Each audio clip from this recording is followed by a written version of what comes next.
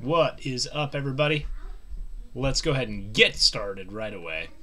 Um, to shorten my video making process today, I'm just doing the applications portion of 1-6 day 2. Um, if you want more specific information about the elimination method, I will post my elimination video from Algebra 1. Um, and you can scan through that. It's got all the same information, except I think I actually go through it in a little more detail. So you'll get, I think, a better better explanation than if I were to try and rush through what's in your packet. So um, if you're doing notes, uh, if you need notes to turn in, then just uh, copy down the notes from the first video. And then we're going to jump in and do some applications here. So um, when you're solving system of equation application questions, there's typically a series of steps that you go through in each problem. So we're going to look through this one, we're going to read it really quick, and then we're going to run through those steps, and we'll see that those steps carry over. Um, and you get kind of used to seeing the same types of um, questions. But you're choosing between two long distance telephone plans. Plan A has a monthly fee of $20 with a charge of 5 cents per minute, and Plan B has a monthly fee of $5 with a charge of 10 cents per minute. For how many minutes will the cost of the two plans be the same? Okay, so the two the first two things that we need to or the, the first step really in in solving one of these word problems is to first define the first thing you have to do is define our two unknowns. Okay? Our unknowns are the things in the problem. And when i say variables people think x and y but we have these two things that kind of we we don't know. We're going to define them based on those, and then um, and then we'll be able to construct our equations with our two unknowns. So we're going to define the two unknowns. We really have one that's really important, and that's kind of what the question is asking us. So the question is asking us, for how many minutes will the cost of the two plans be the same? And it really gives us a hint um, of what what our two variables are there. For how many minutes will the cost of the two plans be the same. So our two unknowns, I'm going to call M. And let's be very specific. Don't just say M is minutes. M is, we're comparing plans, is the number of minutes that um, number of min, number of minutes talked this month. Okay? And then C is going to be the cost, or rather, the monthly bill, the, cost of um, phone service.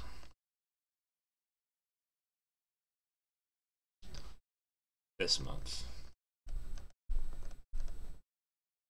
Okay, so those are our two unknowns. And they're both present in both plans, right? You can determine the cost of plan A after you talk for so many minutes, and you can determine the cost of plan B after you talk for so many minutes. So we've defined our two unknowns. Step two. Step two is to write, or rather, um, create or write, uh, let's just say create, sure. Create two equations using variables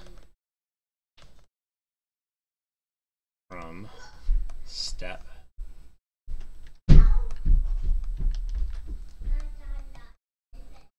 step one. Okay, so we're going to create two equations using the variables from step one. Now, the equations that we create typically correspond to two pieces of information that were given from the problem. I think if you read this a couple more times, um, you know, read the problem, make sure you fully understand what's going on. You'll be able to figure out what those two situations are. We have two situations that involve a cost and the number of minutes talked per month, right? Those two situations correspond to our two equations, and they are plan A, plan B. Okay, so let's take a look at these. Plan A, create our system. Plan A the cost per month um, is different because our cost is equal to for plan A, we have a $20 fixed rate. The amount we pay per month is 20 bucks plus every additional minute is 0.05 or 5 cents. So it's 5 cents per minute, but we have this $20 flat rate. In contrast, plan B is $5 plus 10 cents per minute. Now, if we take a look at these two things, um, you can kind of reason out. Plan A is for those that um, that are going to talk a little bit more, right? If they're talking for quite a long time on their phone, Plan A is the one you want because it's cheaper per minute, and over time, um, it's going to be the cheapest plan if you're talking a bunch. If you hardly use your phone at all, then you could pay as low as $5 a month for Plan B. But if you turn into a long term talker, they're going to make some money off of you. So that's step two. All right, so I guess there's really only two steps. It's like the shortest list ever. Um, and then from here, we now have what we're looking for, and we're able to solve. So let's talk about our strategy for solving this. You can, you know, if you're going to solve for this on paper, you can use either substitution or elimination. In fact, I will do both, and you should do the one that makes the most sense to you. So I'll do it kind of, or at least the starting portion twice. When it says for how many minutes will the cost of the two plans be the same, it's really kind of asking us to set these two things. The costs are the same. So the cost of plan A is equal to the cost of plan B. So we're really just setting these two equal to each other, which would be substitution. Okay, if we're using the substitution method, it's going to look like 20, since C equals this and C equals that, these things are equal to each other. Okay, which is it's going to look like that. Let me make sure I got enough room here. All right, sweet.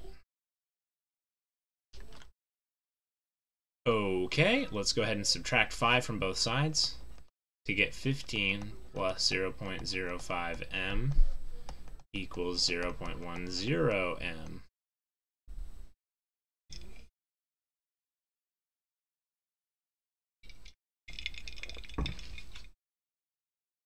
Okay. And then I'm going to subtract 0.05 from both sides and we'll end up with 15 is equal to 0.05, 0.05 m. I subtracted this from both sides and we'll get m is equal to 3. So what does this mean? Does this answer our problem? Actually, we have answered our problem. At this point, we've we've said kind of everything that we need to say um, using substitution. If we were to plug 300 back in, what that would give us is that would give us the cost of, um, it'll give us the cost of the plan. So you'll notice that if I plug in here, what is um, 0.1 times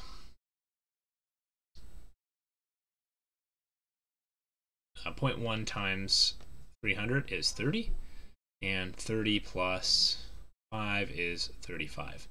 If you plug in 300 here, you end up with um, 15. 15 plus 20 is still 35. So when you, if, if a person in Plan A talks for 300 minutes, they'll have pay the same amount as someone from Plan B that's talked for. So basically, it's going to cost them 35. So we get this point that is, you know, 300 comma 35 if you want to write it like that. It's not x and y, so to speak, but um, we can solve for the variables individually. So if we plug in 300, we'll get c equals 35, but we've answered our question right here. m equals 300 minutes. That is our solution.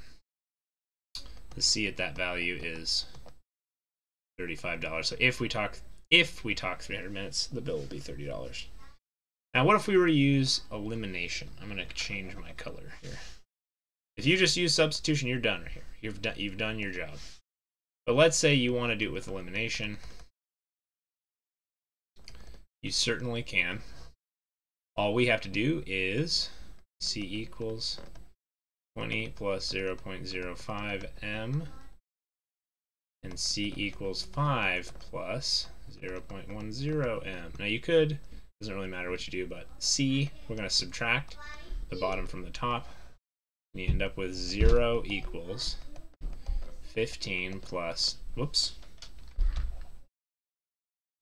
right? C minus C is 0, 20 minus 5 is 15, 0 0.05 minus 0.10 is negative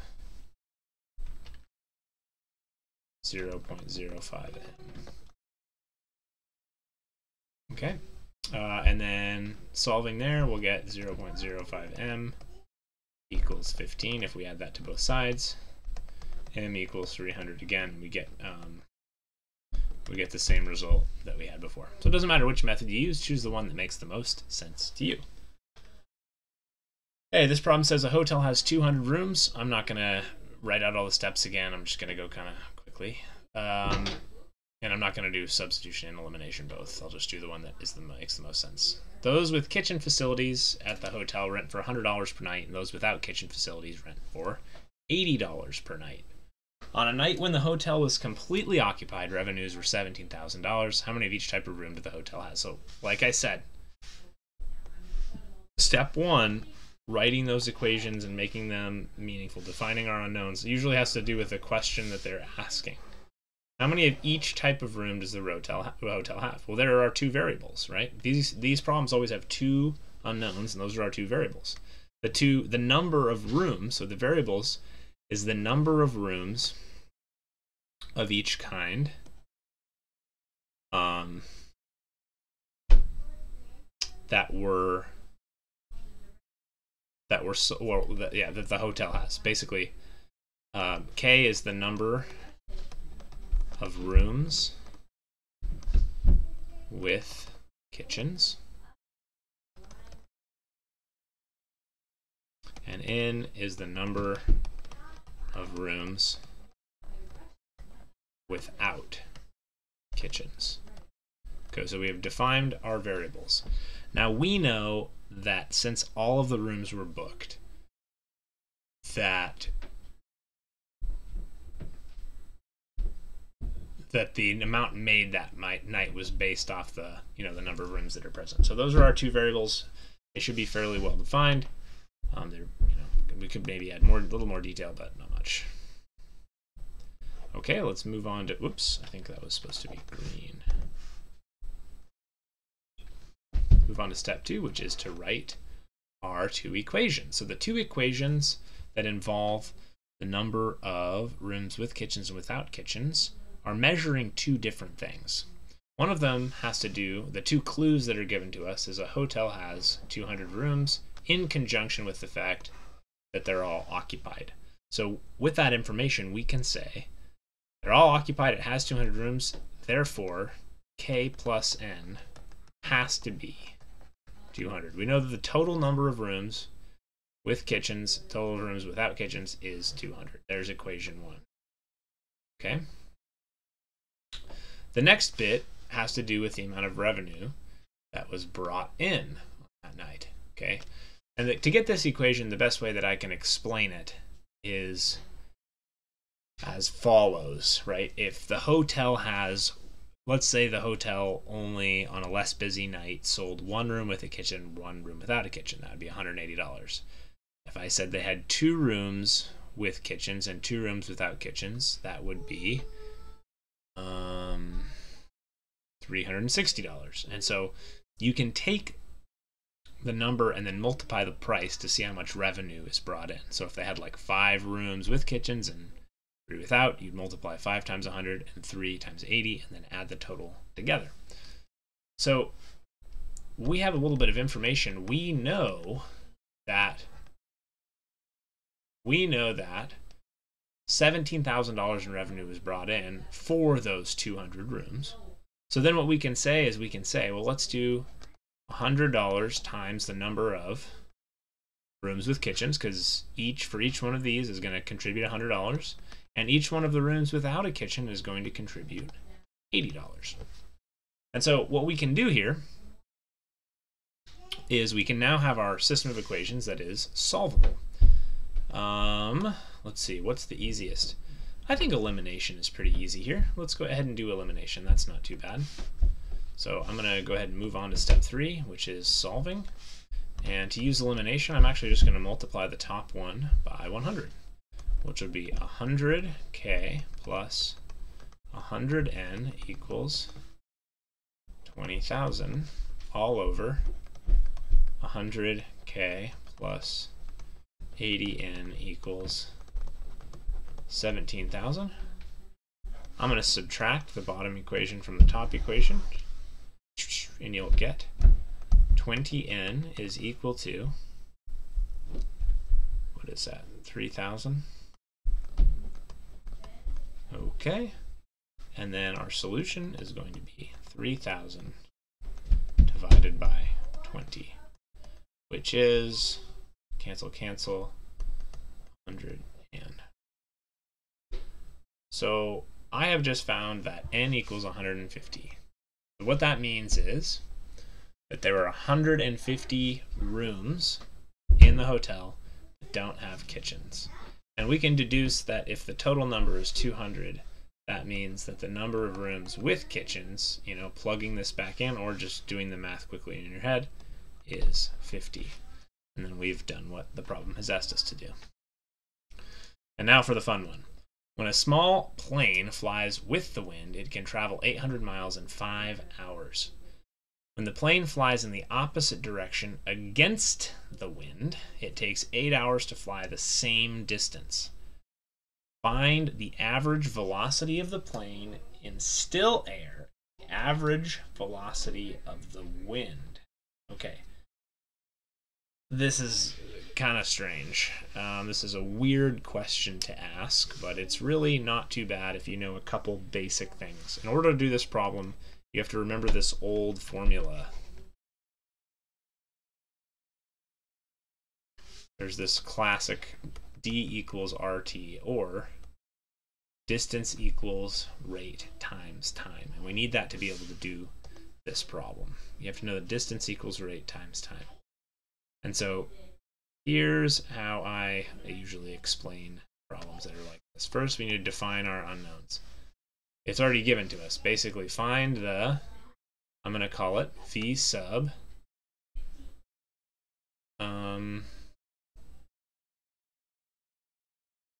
v sub s we're going to call this the velocity of the plane in still air. So if there was no wind at all, how fast the plane would be going on average. And the last one is the velocity v sub w, which is the velocity of the wind.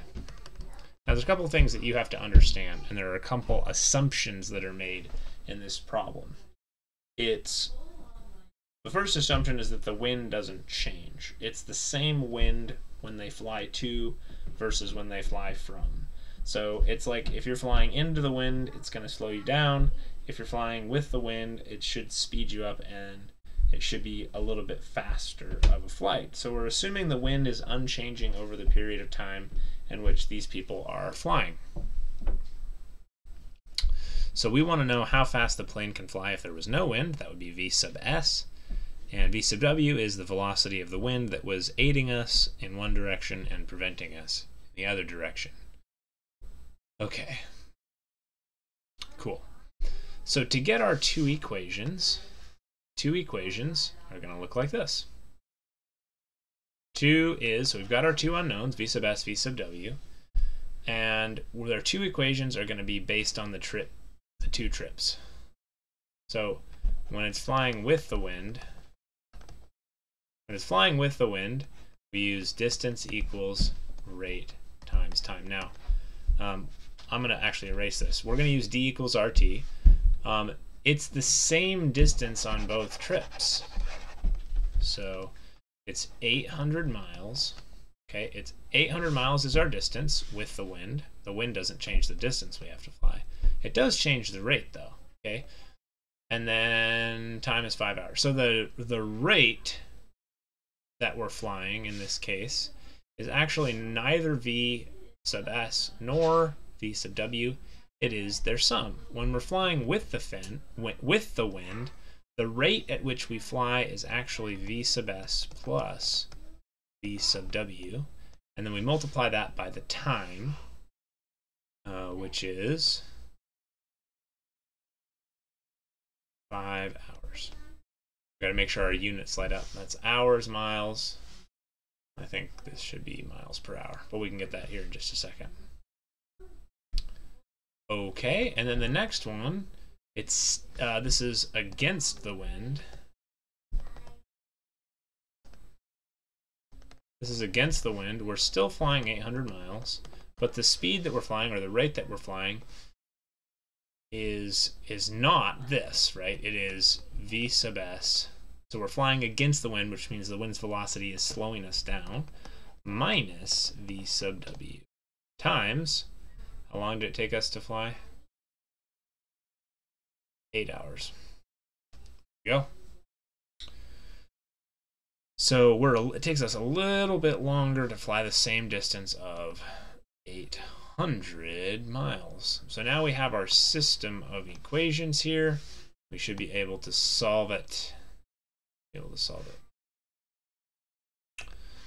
All right, the first thing I'm going to do, I think elimination makes the most sense here. Let's distribute those and rewrite our system. So it's going to be 800 is equal 5 VS plus 5VW.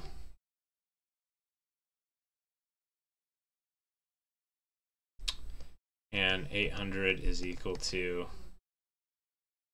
you know what, I think this is kind of overkill. Whatever, we can still go. Yeah, this is, this is not the right way to do this. There's a much simpler way. You could multiply those out. Instead, what I'm going to do is I'm going to, in this one, I'm going to divide both sides by 5. If you divide both sides by 5, we get a thing. Hold on, let me double check my here. That's going to be 100. Dividing by 5 will be something. 1. Can't math. Is that going to be 800 divided by 5? 1 minus 3 goes into 6 um, 36 times 160. Okay. Okay, cool. 160. All right, so divide both sides by 5, and we'll get 160 equals v sub s plus v sub w. And divide both sides by 8, and you'll get 100 equals v sub s minus v sub w. And this is actually ready for an elimination if we add the two equations right away. So if we add them together, just like that, we end up with 260 equals, these cancel, 2 times v sub s, those go away, negative plus positive. Divide both sides by 2, v sub s, or the velocity of the plane in still air is 130 miles per hour. So we've solved for that. So the velocity of the plane miles per hour. The velocity of the plane, if there was no wind, would be 130 miles per hour. And when there is a wind, well, we can just look at this equation here. The velocity of our plane plus the velocity of wind is 160, which means that the velocity of the wind has to be 30 miles per hour. Or you could substitute in 130 into here or into here, but you're just going to do a bunch of math and you're going to end up getting 30. So anyways, that's it. That's it for our applications video. Thanks for watching. Um, systems of equations are cool. They're fun when you're able to do them by hand. It's kind of like untangling a little puzzle or something. So anyways, we'll see you next time.